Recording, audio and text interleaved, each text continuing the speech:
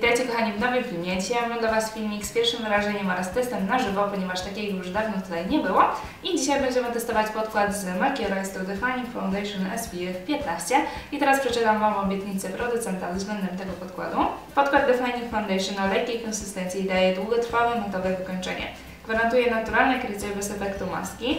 Podkład wyrównuje koloryt, a także tuszuje drobne niedoskonałości skóry. Cera staje się aksamitnie gładka i świetlista, wygląda zdrowiej i młodziej.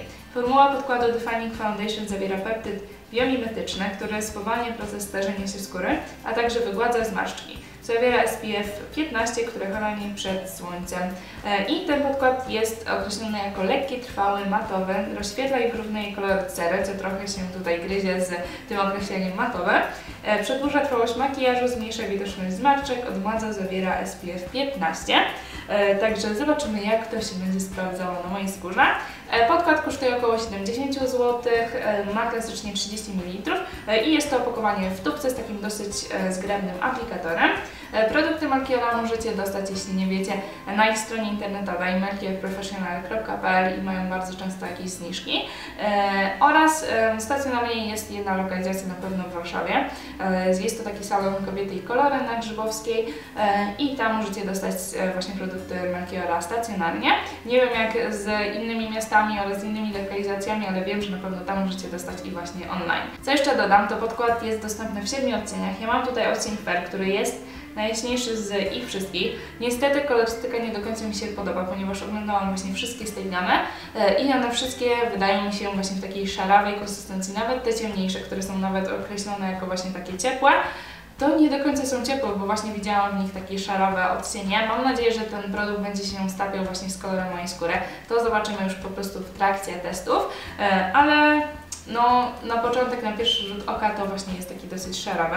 I tak podkład prezentuje się na skórze. Jak widzicie konsystencja jest dosyć lejąca. Nie wiem jak to widać dokładnie będzie właśnie w kamerze, e, ale on jest taki troszeczkę właśnie szarawy, chociaż teraz i tak lepiej wygląda na mojej skórze niż jak e, sprawdzałam go jak jeszcze miałam troszeczkę więcej opalenizny, bo wtedy właśnie się tak mocno e, odcinał. Powiem Wam, że konsystencja jest taka dosyć kremowa i dosyć świetlista. Ja bym powiedziała, że bardziej jest rozświetlający niż matujący, ponieważ Właśnie ma takie wykończenie świetliste, tutaj właśnie go rozsmarowałam e, i nie jest właśnie taki matowy, chyba że zastygnie po prostu po jakimś czasie, e, ale wydaje mi się, że będzie fajnie e, krył oraz ładnie się rozprowadzał, także zobaczymy jak się sprawdzi na mojej skórze. Podkład nałożę sobie tutaj na razie na jedną stronę twarzy w formie takich kropek i zaraz będę rozcierała pędzlem. Wtedy zobaczycie właśnie na połowie, jak podkład się prezentuje, jak zakrył moje zaczerwienia czy niedoskonałości.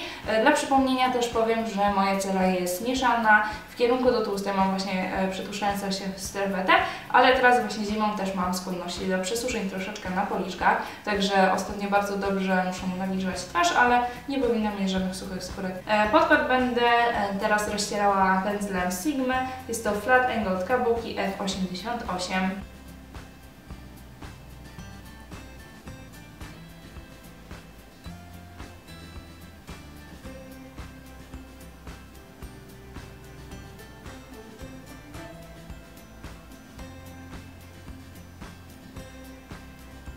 I tak podkład prezentuje się na połowie twarzy. Będzie troszeczkę trudniej ocenić, ponieważ jak widać podkład jest delikatnie dla mnie za jasny. Jak widać tutaj na skórze mojej szyi, e, to mam troszeczkę ciemniejszą oraz cieplejszą. Jak widać właśnie nie do końca jest to moja tonacja. Jest troszeczkę właśnie bardziej taki piaskowy, taki bardziej szarawy, ale zobaczymy jeszcze po przypudrowaniu jak to będzie wyglądało, czy po przypudrowaniu lepiej się wtopi po prostu w skórę na mojej twarzy.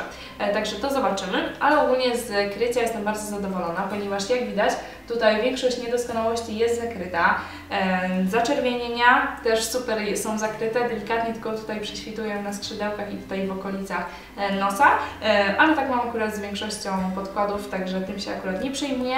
Krycie jest takie właśnie bardziej naturalne, nie jest stuprocentowe, ale na co dzień jak najbardziej mi pasuje. Wykończenie jak widać jest takie bardziej świetliste, rozświetlające, na pewno nie nazywałabym matowym, a minęło już kilka minut, także jeśli miałby się zmienić matowy, to już dawno by to nastąpiło. Mi akurat takie wykończenie bardzo pasuje, ponieważ zimą właśnie lubię typowo rozświetlające podkłady, e, ale niekoniecznie będzie ten podkład dobry dla cer mieszanych oraz tłustych, ponieważ może sprawiać, że cera będzie się szybciej przepuszczała, ale to zobaczymy w ciągu dnia, zobaczymy właśnie jak, jak to będzie wyglądało po przepudrowaniu e, oraz w ciągu dnia jak będzie się skóra zachowywała. E, teraz dokończę nakładanie podkładu też z drugiej strony i zaraz do Was wrócę.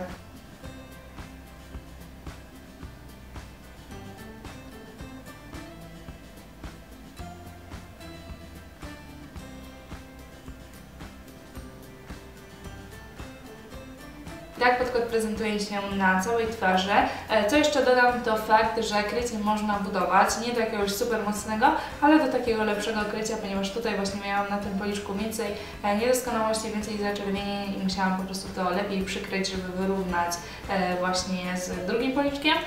Ale ogólnie bardzo mi się podoba właśnie wykończenie typowo świetliste, typowo rozświetlające, także zobaczymy jak to się będzie sprawdzać, sprawdzać i jak się będzie trzymać.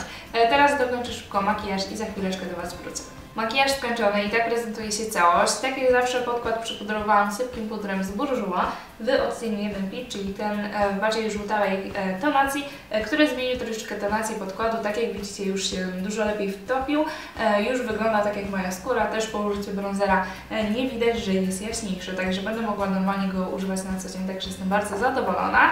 Jeśli chodzi o taki efekt już po wykończonym makijażu, to normalnie z bronzerem różem bardzo łatwo się pracuje, Także nie było tutaj żadnych problemów, nie było żadnej ciężkości, żeby te produkty zaaplikować, także super. Delikatnie doświetlić coś dalej jest zachowane, dalej prześwituje pod e, pudrem, także wygląda bardzo naturalnie i fajnie. Zobaczymy właśnie jak to będzie się potem sprawdzało. Ogólnie na razie bardzo fajny efekt. E, Nie jest ciężki, jest taki właśnie, nie powiedziałam, że jest bardzo lekki, ale jest niewyczuwalny na skórze, także bardzo fajny em, będzie bardzo fajny na co dzień, tak mi się wydaje. Także na razie to tyle, na razie Was zostawiam. Jest godzina w tym momencie 16.05 e, i tak będziecie widzieli z tej odległości. E, jest godzina 16.05, także odwiedzę Was ponownie za kilka godzin i zobaczymy jak się e, ten podkład będzie utrzymywał. E, Wracam do Was na szybkie podsumowanie i jest 15 po północy, także podkład już mam e, na twarzy 8 godzin i jestem naprawdę bardzo zadowolona z efektu. E, Powiem Wam, że naprawdę to jak skóra teraz wygląda, biorąc pod uwagę jaki świetlisty efekt był tego podkładu, to jest naprawdę bardzo fajny efekt, bardzo fajnie się utrzymuje, delikatnie strefa też się świeci, jak możecie to na pewno zauważyć, ale to jest naprawdę bardzo, bardzo małe świecenie, biorąc pod uwagę właśnie e, ten taki rozświetlony efekt. Także mi się bardzo podoba. Ogólnie nosiłam się ten podkład bardzo dobrze, ponieważ nie jest ciężki, e, jest taki dosyć komfortowy i e, ogólnie kolor e, wypada w porządku. Także na pewno będę teraz go używała i zobaczymy jak się sprawdzi na dłuższą metę, czy e, nie zapcha mojej skóry, czy wszystko będzie w porządku. E, Także bardzo wygląda fajnie. Zapomniałam Wam powiedzieć o flashbacku, e, ponieważ ten produkt ma filtr 15, e, ale zrobiłam kilka zdjęć z flashem i wypadł bardzo dobrze, nie ma żadnego flashbacku. Pięknie wygląda właśnie na zdjęciach. Ogólnie nie oglądałam materiału, ale wydaje mi się, że w kamerze ogólnie wideo też będzie wszystko w porządku. Także jestem bardzo zadowolona, zobaczymy na dłuższą metę jak się sprawdzi. Jeśli używałyście tego podkładu, to dajcie mi znać e, w komentarzach e, co o nim myślicie. E, I to by było na tyle. Dziękuję bardzo za oglądanie i do zobaczenia w kolejnym filmie. Pa, pa!